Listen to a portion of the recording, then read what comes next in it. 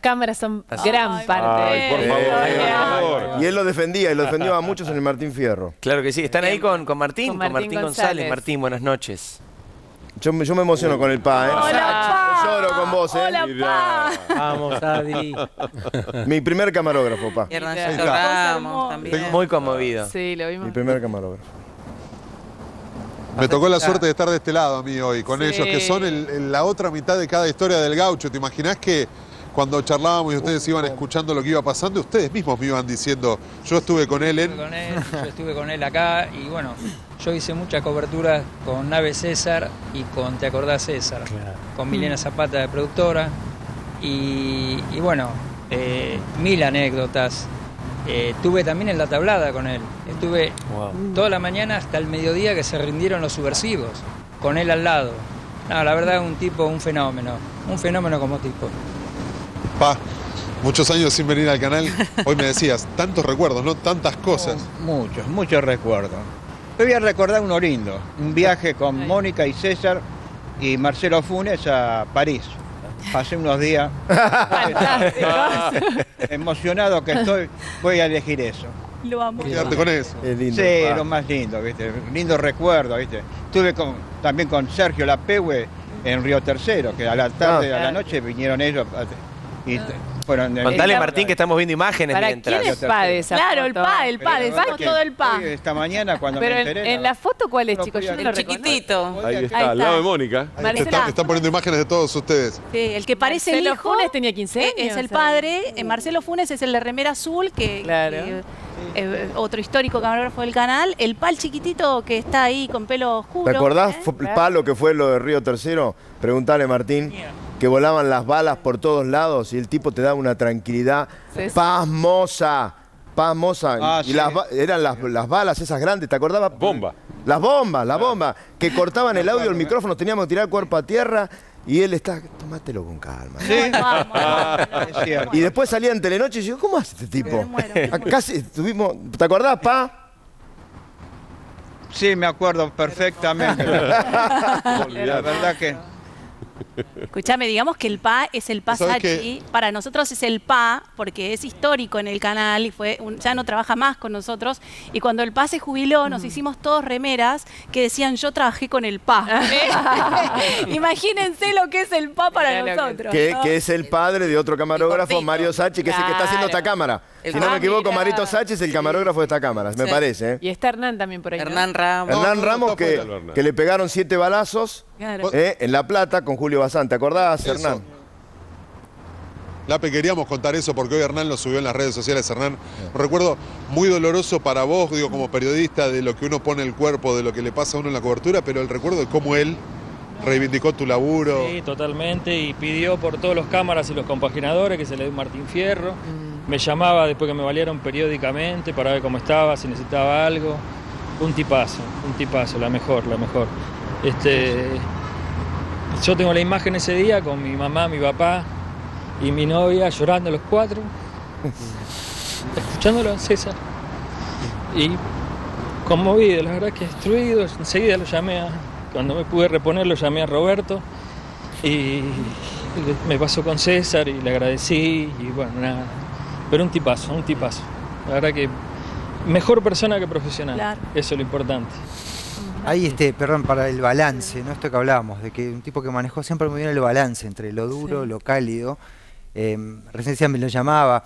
Todos los que hemos tenido hijos, a todos, todos Lo llama. esperamos el Claro. saludo al aire de César de la bienvenida nacimiento. Es real. Lo tengo grabado. Nos ha dado la bienvenida a todos los Mira, hijos. Sergio lo mandó a, Es lo mandó a la bienvenida personalmente. Bueno, eso después fue un legado en Telenoche, porque Telenoche después, cuando ya ellos no estaban, digo, este fue el legado también de Milena Zapata y de Lía Mormina, y cuando tenías hijos estábamos todos esperando ver a tu bebé recién nacido en la pantalla de Telenoche. Un como si clásico. nosotros fuésemos espectadores, éramos parte, Además, ¿viste? O eh, sea, bueno, lo que es eh, César hizo grandes coberturas, ¿no? Sí, claro. O sea, era muy habitual esto que contaban, que fue a, a Río Tercero, eh, estuvo en la AMIA, estuvo en la Embajada de, de Israel, este, estuvo, bueno, La tablada, también cosas, eh, eh, digamos, eh, lindas como era el Mundial de... Claro, de o con. George Harrison. Claro. Y, y Eh, Emerson. Fittipaldi. Eh, que fue, ahí estuve, tuvo como una suerte de bautismo en el 2001, con la, la salida de la Claro. Rúa, estuvimos como más de 10 horas al aire, Aire. interrumpida, este, y bueno, comandado por él la, la salida. Eh, mi, mi primera experiencia con él fue en el, con la convertida, como caballo en la sola convertida. Yo no trabajaba todavía en el canal, trabajaba en Clarín. Y claro, me llaman de la producción y me dicen, mirá, va a estar la conferencia de prensa. Nosotros lo habíamos anticipado. Bueno, dice, ¿podés ir? A mí me temblaban las piernas. Yo estaba en el Palacio de Claro. Hacienda eh, con el monstruo de caballo ahí y César acá. Y se demoraba, la típica, ¿viste? Se demoraba la conferencia. Tenía que Yo estirar. tenía que hacer aguante. Yo no sabía nada de cómo hacer eso. Y bueno, toda esa, esa cobertura, un, un gran, un gran tipo Sí, sí. y un gran eh, periodista. y además Bueno, creativo sí. para las producciones, ¿no? Porque se le ocurrían cosas tremendas que después Milena Zapata, Lía Mormina tenían que Tenían que lograr. Por a- ejemplo, Tenían que llevar a cabo. Una vez. César se mandó la navegación por el riachuelo en una balsa Claro. que tuvo que producirle Milena Zapata y en, en otra hicieron una teatralización de un, de un hecho policial mu- muy, conocido en donde tuvieron que conseguir un camión mosquito, de estos que transportan autos. Sí. Y a partir de ahí hicieron toda la teatralización. Yo, yo me acuerdo que Zapata no durmió varios días. Debes de saber saber de qué le hablamos. Vamos con... Están Lía y Mil, están acá también, Sí, no están acá al aire. Como siempre detrás de cámara. Están siendo Sí, parte de este homenaje, por supuesto, en, en la casa de César. Juan, ¿estás ahí todavía? Te extraño, Juan. Acá estoy, acá estoy escuchando. Yo también los extraño, la verdad que los extraño, pero bueno, compartimos esta historia en común que fue una bendición profesional para Sí, todos. claro. Y Yo me acordaba cuando César, cuando César entraba a la redacción, porque la gente eh, conoce al, al César Massetti que, que entraba a, a las casas por el televisor. Pero cuando estabas en la redacción, trabajando en algo, y de repente él llegaba a la redacción. Era una presencia imponente. total. O sea, era, eh, llegó César, era Sí, realmente sí, una sí. persona que marcaba una diferencia porque tenía como Líder, ¿no? una hora especial, ¿viste? Te dabas vuelta, te, un líder, te dabas vuelta y si llegó César y había que estar a la altura de un tipo como él. Entonces, creo que nos hizo mejores a todos este, en lo que pudimos profesionalmente. Y el humano, ¿qué decirle? Siempre estaba presente, siempre con un regalo, un llamado. Este, fue un poco papá de todos en nuestro trabajo. Y, y aparte quiero decir que es él es el primer admirador de Mónica. Él Claro. hablaba de Mónica con un enamoramiento y una admiración que solo él tenía. Él todo el tiempo habla, es la mejor periodista nos, y todo el tiempo. Aparte, Juan, con pasión, cerraba con Mónica locura, siempre, con ¿te amor de Mónica. Y abría Mónica. Ab- abría Cerraba Mónica, Mónica. y cerraba Mónica y, Abría Mónica y él y daba un paso al Mónica. costado y, Y era Mónica otra época esa, ¿eh? En donde el hombre se imponía. Esa No, sí era la época. acá no. el hombre- Ahí Y se él ya con, por, por naturaleza era Sí. tan respetuoso. ¿Y las fiestas en, la, en el campo? Eh, ¿Recuerdas vamos a ir ahora a San Hablando Pedro, vamos a ir para ese Domi, lugar claro. eh, y vamos a hablar, Domi, por Dios, porque sé que en tu casa pasaron muchas cosas Claro, al inicio de ese amor, Porque la gente de esa no pareja. sabe Eh, no Domi- solamente, claro, a nivel televisivo, a, nivel todo, a nivel total. Eh, Gustavo, estás ahí en San Pedro, donde, bueno, obviamente eh, hay mucha repercusión con esto que está pasando. San Pedro es también de ellos un poquito. San Pedro es de ellos, sin lugar a dudas, ¿no? Eh, y queda este recuerdo, el, el- el César, el gaucho, ¿no? El sanpedrino, el hijo de este pueblo que estuvo toda su vida aquí. Era, era un grande, un monstruo del periodismo, como lo- les venimos contando y venimos recordando tantas y tantas historias, tanto nos enseñó. Pero aquí era César, uno más, todos los días, Claro. yéndose a, a- a trabajar, caminando por las calles.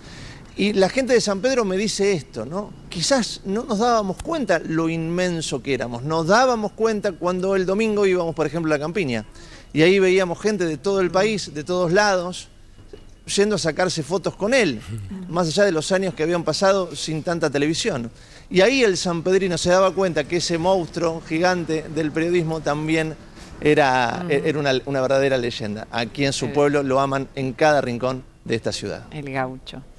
Domi, hay, nosotros lo conocemos todos, pues es una historia hermosa, el origen de esta historia de amor entre Mónica y César, pero esta historia de amor fue real, información en la casa de Domi.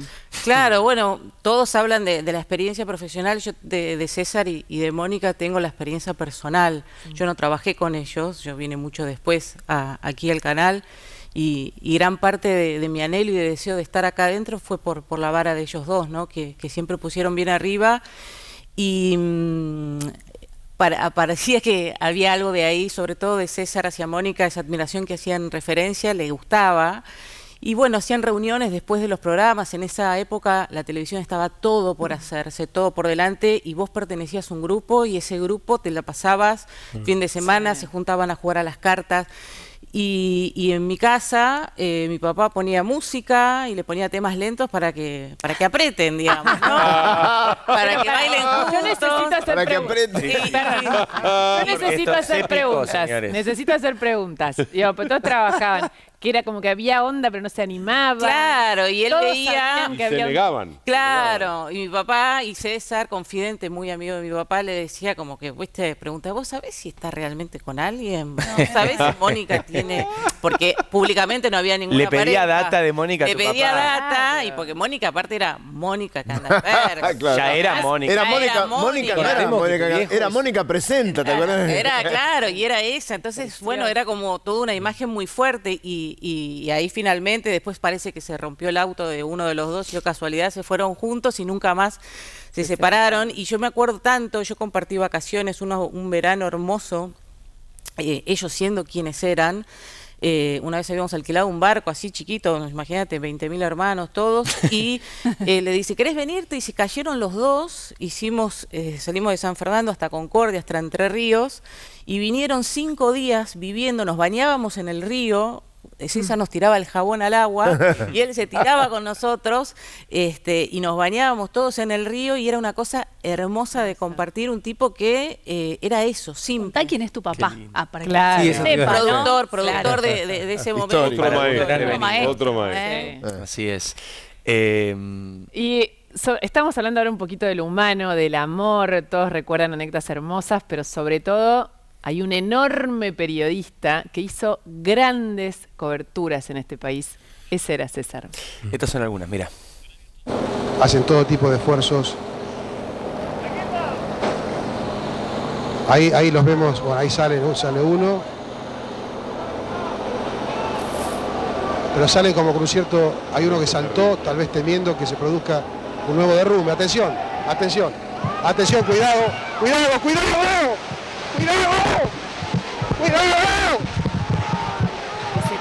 Terrible, por Dios. Todos nosotros. Es Sí, tan conmovedor el derrumbe. de lo que había ocurrido. Esa sola, esa sola palabra muestra todo lo que había ocurrido en el, Y, desastre. y el tono, lo que ustedes decían antes, ¿no? E- Ese cuidado es tan conmovedor como el propio derrumbe. Porque le importa a la gente antes Exacto. que nada. Él estaba ahí, con- o sea, lo que contaba hoy Lape. Gritando a los obreros. Ellos estaban ahí. televidentes. César Claro. no era un conductor. César Estaba era ahí, primero una persona y después era un periodista que salía todo el tiempo del sillón y se iba a la calle a laburar porque la, la historia estaba ahí afuera. Pero esto que dice Dexter, esto- perdón, perdón, Sí, Sergio, esto que dice Dexter, el cuidado, El cuidado. no era para la tele, no, No. era una no, no. postura Era para quienes estaban en su casa, era para los bomberos y obreros que estaban vos pensá, vos pensá que esa cobertura que estábamos con Juan, Juan estaba en el primer piso, creo, César estaba abajo, yo estaba en el... La cámara y el relato de Sí.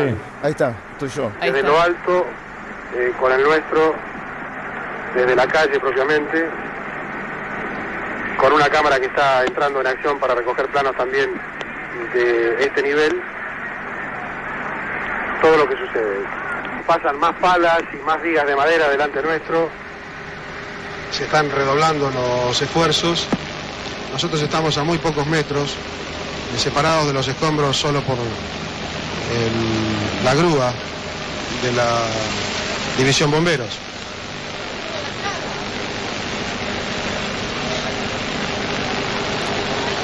Juan, esto tiene que ver mucho tratando de con vos, me imagino cómo te habrá marcado, ¿no? de luz de uno de los dos reflectores instalados por la Policía Federal. Sí, porque estuvimos desde temprano todo ese día y en un momento, bueno, se decide que toda la transmisión de Telenoche fuera, eh, fuera con César en el lugar. Entonces, naturalmente nosotros a él, llegaba él y era, llegó nuestro líder, nuestro conductor, entonces le cedimos el paso.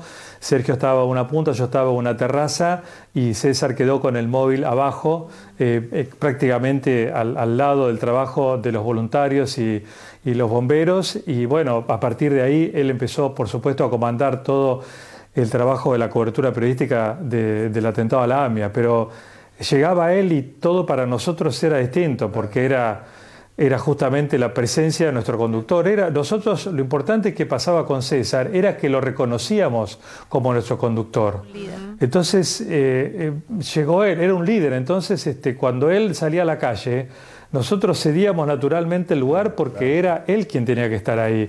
Y nos corríamos naturalmente porque él era el principal periodista de, de, Telenoche y el canal. Entonces llegaba César y era eso, era la presencia de él y nosotros aprender de él. Ahora vamos a otra cobertura, la dijiste vos antes, Sergio, la de Río Tercero, un momento Mm. histórico donde vos también tuviste mucho que ver. Sí. Miren ese pedacito. Hora 20:43, seguimos transmitiendo en vivo, en directo desde Río Tercero. Una ciudad devastada, con el aspecto de ciudad bombardeada y minada al mismo tiempo. Cada tanto se produce un estallido, los vecinos son presa de crisis de nervio, se escucha la sirena de las ambulancias, la policía que despeja el área, nos impidieron trabajar en el colegio. Pero aquí el plano se repite metro a metro. Cuando la cámara traspase esta reja, se encontrará con otro cuadro dantesco. Aquí vivía una familia completa. El Es lo que dijo Marquich, ¿no? De la economía de palabras, Sí. En el las jardín, palabras necesarias, hasta hace minutos, no hay mucho adjetivo. Precisa. Vos lo escuchaste, era como si lo podríamos haber leído, era- estaba improvisando Claro. algo perfectamente escrito, te diría. Exactamente. Y lo decía así. Con un relato lineal y muy claro. Vos fijate además Una el tono perfecta. que utilizaba. Estaba en el medio del bombazo de la AMIA y tenía un tono que era mesurado para tranquilizarnos a nosotros mismos, ¿no? Lo mismo que estaba pasando acá, otro desastre que vivimos en Córdoba, en Río Tercero, y era la misma cosa. Eh, Luis, La- yo tuve la oportunidad de estar en estos dos lugares, ¿no? Con él. Y en Sí. los dos lugares siempre fui el primero en llegar. Ahí también habíamos llegado primero. Y cuando llegamos, él me, él, después de haber hecho toda la cobertura, él llega para hacerla, viene, como decía Juan, Viene el conductor de Telenoche, imagínate lo que era para todos nosotros, estábamos con el Pasachi, que está ahí, ahí nuestro camarógrafo, y dice, haceme un resumen. Vos le contabas. ¿cuál es el lugar? Mira, César, a mí me parece que esta casa es la... ¿Cómo es la casa? Vamos ahí.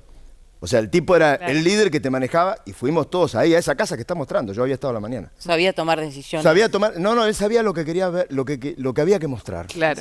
Igual eso no se, no se estudia, No, no. lo enseña a nadie. No, eso se nace tiene. con vos. y con la ¿eh? experiencia, ¿no? Y con la experiencia, Igual viene además- del diario él, viene Claro. del diario No, ya sé, pero digo, el periodista, este periodista no era un periodista académico. No, no. Este era un periodista de calle. Sí, pero era un periodista, no, era un Se periodista hizo de calle que- pero que nos enseñaba con la academia propia de la vida Ah, cotidiana. sí. ¿viste? ¿Vos sa- vos- ¿Cómo nació esta cobertura de César en Río Tercero? Habíamos arrancado a la mañana, estábamos al aire, bombazo en Río Tercero, llovían las bombas en, en medio de la ciudad y él dijo, estaba al lado mío, Mm. me voy para allá. Se levantó y se fue. Mm. Y le dijo a Delia, viajo. Y se fue con Roberto Mayo, que era el productor ejecutivo en ese momento. Que es el. Roberto que hemos venido mencionando. Exactamente. Bueno, esa era la vieja, la vieja guardia, digo, del, del Telenoche original, Carlos Delía, al frente siempre, Roberto Mayo, Milana Zapata, Elía Mormina y todo este equipo. Todos nosotros éramos unos pichis que estábamos laburando pico pala, barro y escombro a ver si levantábamos algo más, ¿no? Pero ahí estaban los dos grandes monstruos del periodismo sentados en ese sillón, que como decía Luis recién, cuando el tipo le, le picaba y sentía, Y al otro día, a- ese día, moría el soldado Carrasco. ah, Me dijo, Claro, bueno, me quedo yo acá. Me que- estaba el gallego Llorente, me quedo con el gallego. Andate, Roberto Mayo. Andate, a. Neuquén. Y al otro día me fui a Neuquén. Y hubo otro momento trágico para la historia de nuestra profesión, pero para la historia argentina, que es Muchas el veces, asesinato Mario, de José Luis se Cabezas. planteó como telón de fondo del asesinato de Cabezas una disputa por el poder. Claro, esto cor- corrió paralelo. eh, la pelea es obviamente entre el presidente Menem y Eduardo Dualde, que tienen una visión de relación eh, distinta con el empresario telepostal Alfredo Yabrán. Por un lado, Naturalmente el que está ahí es presidente Mario Marquich. Mario, querido, verte, escucharte. que en, algún En ese caso, además. el avión de la Nolec Pasaron para años, viajar pero eh, el gaucho estaba siempre en los grandes acontecimientos. Este, en- en aquel tiempo se, se había puesto de moda lo que narraron eh, algunos compañeros eh, allí en el piso, de, de instalar este, el estudio y la presentación del noticiero donde ocurrían los hechos. Y bueno, lo que tenía el gaucho también es que te daba pie Eso sí, vos tenías que tener todo aprendido, porque si no una pregunta te podía dejar desacomodada, porque él, él era el primero que llegaba a las célebres reuniones de sumario con todo aprendido. O sea, escuchaba radio bien temprano a la mañana, leía. Y lo que tenía también, dos cosas. Preguntas concretas, no había preámbulos, no había, digamos así, el, el contexto famoso que, que se emplea, bueno, mucho. Él iba a los bifes, entonces Así hacía es. preguntas concretas. Esa era una frase también, y te a los bifes. a vos también el lucimiento, porque cuando vos hacías una nota buena, el remate que hacía era espectacular. La, la nota subía un 30%. Esto no me lo puedo olvidar más porque verdaderamente yo me sentía intimidado cuando estaba eh, eh, compartiendo con ellos el, el piso, porque eran verdaderamente dos, dos monstruos. Dos monstruos. Por- Se dijo una, sí. una cosa dijo Mario, la quiero remarcar, porque él era un tipo que de su humildad y su conocimiento te sacaba lo mejor. Y era cierto que él abarcaba muchos temas, no, no era un periodista general, pero tenía conocimientos muy precisos de algunas cuestiones, porque se informaba, trabajaba durante el día y tenía esa particular, dos particularidades, traspasaba la pantalla y te sacaba lo mejor, te hacía lucir. Esa es la diferencia Te metía una entre- pregunta, te metía una pregunta que, eh, que quizás vos no lo habías expresado en, en términos de la cuestión económica, a veces son cosas técnicas, que te hacía traducir el tema para llegar a la gente de la forma más simple Mm. posible. La diferencia entre brillar y iluminar, básicamente, Hablando, es un poco lo hablando que de están iluminar, me acuerdo, ¿se acuerdan la cobertura? El eh, 11 días sin luz acá en la capital federal? Sí. sí. Bueno, yo en la calle haciendo el móvil, todo oscuro, y consi- consigue la producción al capo de, de- de Sur en ese momento. Era una empresa, no me acuerdo si era chilena o española, ¿vos te acordás?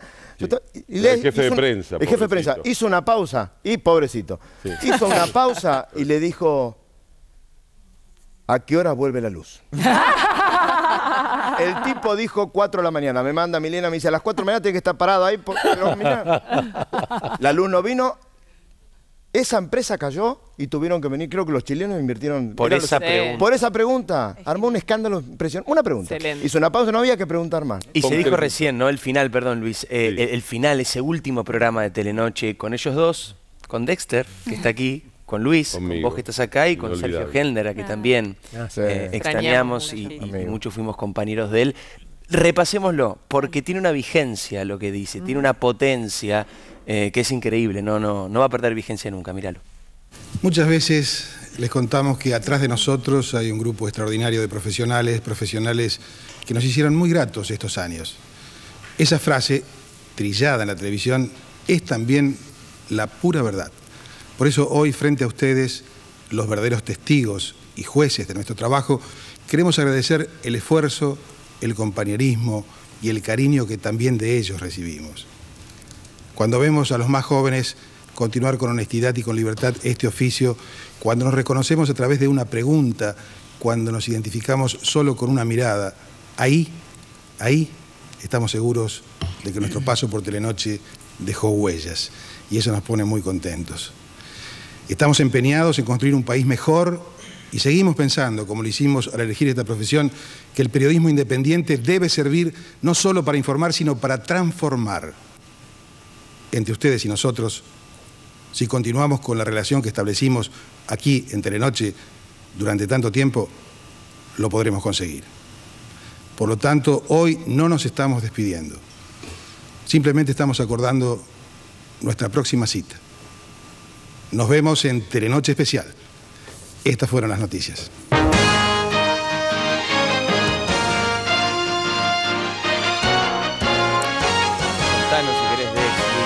Puedo creer pasando. que tenga ¿no? 20 años esto. No, no, no. y- Y, 19. pasaron. Y Estoy ahí atrás, ahora pararon a ver a alguien de naranja con mucho pelo. lo que acaba de decir César es este, algo que es inigualable y además recontra vigente, como venimos diciendo eh, desde hace un rato. Y nos sigue enseñando. Sí. Seguimos aprendiendo y no terminamos de aprender en realidad, porque creo que nunca vamos a estar ni a la altura del tobillo de Massetti. Él habla de dejar huella. Reinaldo Sietecas estuvo hace dos meses con ellos en la campiña y él le contó una anécdota que para mí sirve mucho para lo que estamos diciendo, que es que acababa de plantar durazneros, que recién van a dar frutos en 20 años. Y le preguntaron, ¿por qué lo hiciste?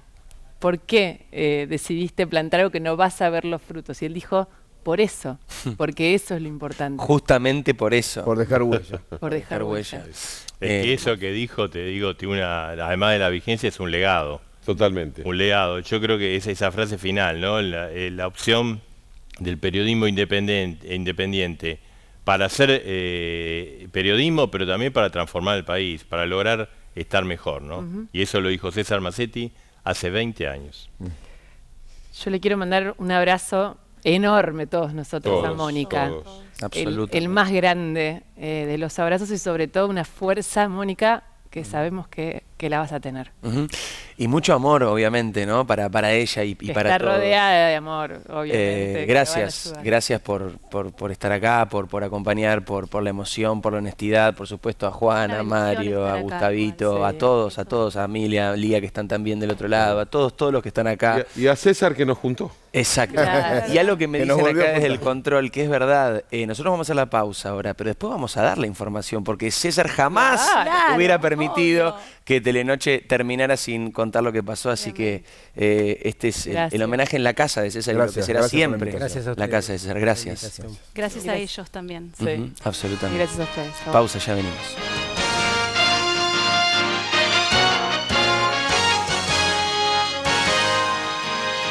Lunes a viernes, 21 a 15. Arranca el juego por el premio mayor. Cuando los escalones te sorprenden. Ay, qué difícil. Las Yo lo miro en la tele en mi casa y no me pasa esto. Tenés que estar listo para jugar hasta el final. Los ocho escalones, partido liquidado. En la B, Germán Lauro. ¡Mariana! ¡Un millón de pesos! ¡Bravo! Los ocho escalones del millón. Lunes a viernes, 21 a 15.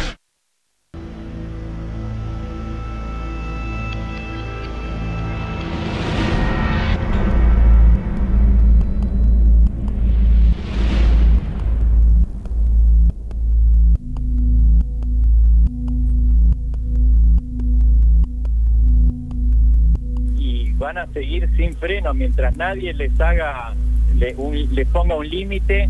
Estos terroristas, ¿no? que están dirigidos por el señor Facundo Jones Guala, van a seguir adelante en su cometido.